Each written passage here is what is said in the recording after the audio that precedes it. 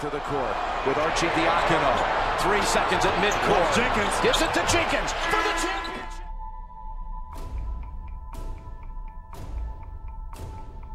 A great work ethic so we can not only play the last Monday night, must be the last team standing on Monday night.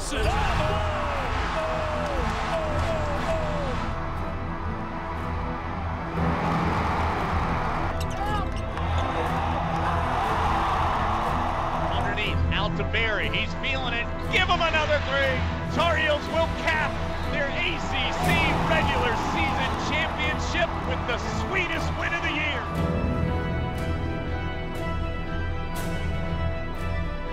The steal, another turnover for North Carolina. Barford all the way in. Up and under it goes. I get cold chills. We were that close last year. We want to be the last team standing.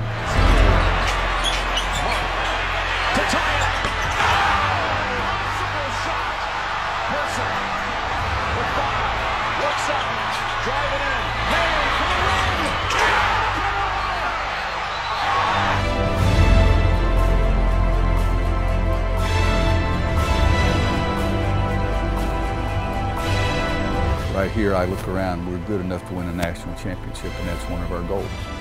All right, but you got to put forth the effort and intensity every single day. Second one, no. And makes. Carolina saves it on the glass. How about that? The best rebounding